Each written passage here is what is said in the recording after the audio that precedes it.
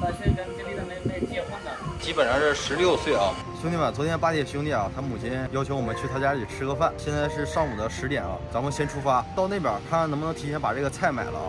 这边属于沙漠型气候，很多人家养骆驼。今天最高气温四十五度啊，咱也不知道在那边吃饭是一种什么样的感觉。这是大帅家附近的菜市场，咱们找一找有没有卖肉的。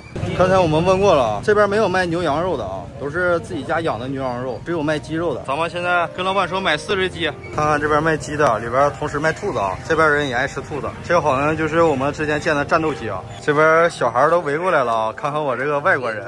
他们这边人根本就没见过外国人啊，比较偏远。兄弟们，这是名副其实的苍蝇摊啊！看看这个苍蝇，就问你们多不多？杀鸡的时候我们过来买点饮料啊。OK，买四瓶，特别大的这一桶可乐和雪碧啊，这是相当于四块钱一瓶啊，非常便宜，在这个村落里，三千七百卢比，不到一百块钱啊，一共是六公斤多一点。到个蔬菜摊，我们再买点蔬菜。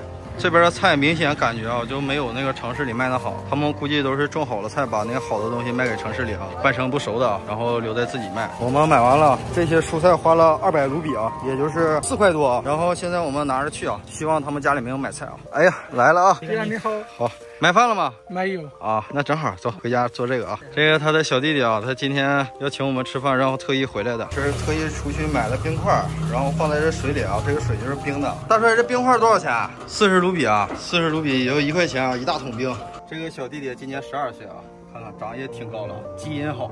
这个小弟弟现在带我们去他大爷家隔一道墙，但是要绕一圈。他说那边做饭方便啊，不让在这边做。这个就是他的大爷家啊，家人们看一下啊，这个大爷家生活条件还好一点。平时他们属于联合家庭嘛，生活在一起。这是我大爷家啊，这是你大爷家。他家有多少动物啊？五只牛，一只羊。五只牛，一只羊，其他的应该出去散去了啊。这个给我来，兄弟们，大帅让咱们过来啊。啊，刚才找了半天厕所啊，原来 带我来上厕所了啊。这是一个室外厕所，看一下啊，这里还可以洗澡啊。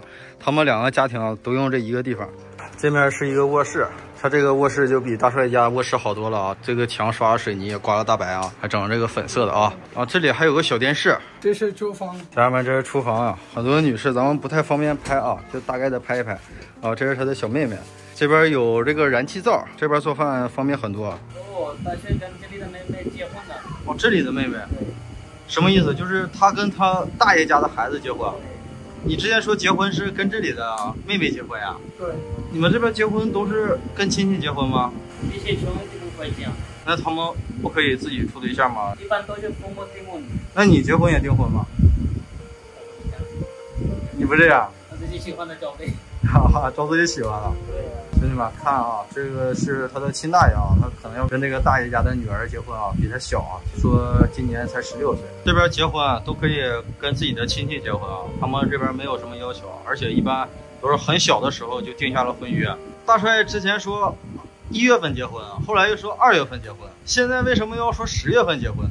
呃，房子也还没建好，所以他在建房子，房建好了就对房子。他这个房子我看也没多少钱啊，怎么一直没建好啊？家里用钱花的也要用钱的，所以他一共花完了，房子盖了一半了。哦，兄弟们，原来是这么个回事啊！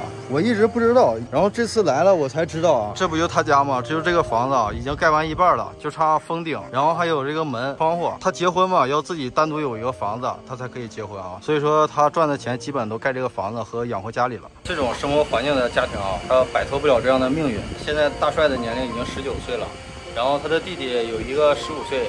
然后有个十二岁，然后还有十二岁的妹妹，他们要结婚生子啊，这都要面临这个问题啊。他们这边结婚还早呢，我才发现，只要是懂事的啊，家里只要能有一个屋子，他们就会结婚。基本上是十六岁啊，他们这边法定结婚的年龄就直接就结婚了，不注重这个知识，然后只是想着赚钱生活，就是为了一口饭啊，真挺不容易的。这个我大哥哥，好，你好，你好，你好，这个房子是你哥哥的。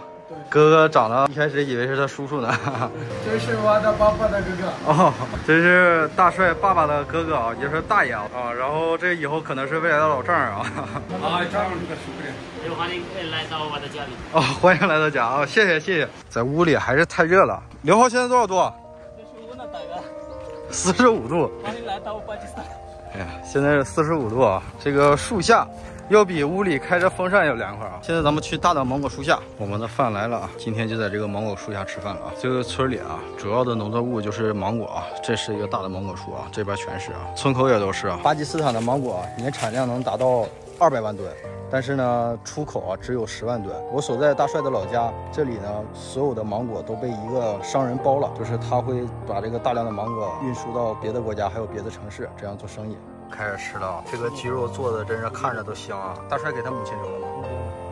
因为这边女士啊跟男的是分开做的，所以我们在这个芒果树下就这么吃一顿吧。在巴基斯坦吃饭啊，就是。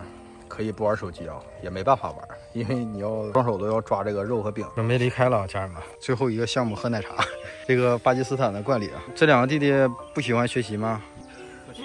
不喜欢，啊。这个没办法，这孩子已经大了。大帅每次出去之前啊，都让他们去上学校，但是他一走，这些孩子就回来找工作啊，也是不想让他哥哥这么累，也挺不容易的。现在喝完奶茶啊，就撤了。好了，兄弟们，咱们下期见，拜拜。